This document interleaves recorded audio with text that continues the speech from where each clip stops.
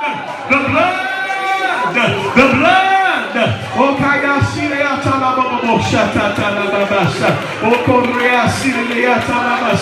Oh, God, we speak life. We speak life in our circumstance. We speak life.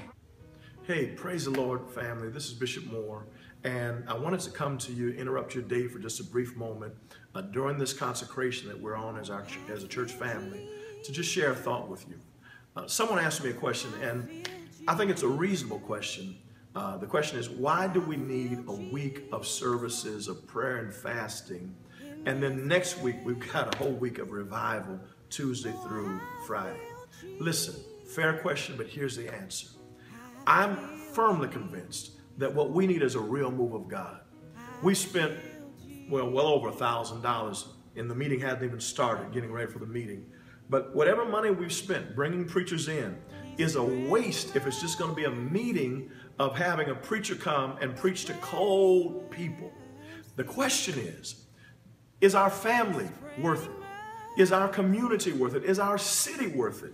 To see a move of God is going to require the people of God seeking the face of God. We don't need another week of services. What we need is a revival. And this week of prayer and fasting, this week of evening prayers at 7:15, one hour of power, is to gear us up for that breakthrough that we're believing God for. Listen, family, I'm praying that you'll meet me here tonight at 7 o'clock, 7:15 rather. Uh, it, it is so important. You know that your family needs a move of God. You know that our city needs a move of God. You know that our church needs a move of God.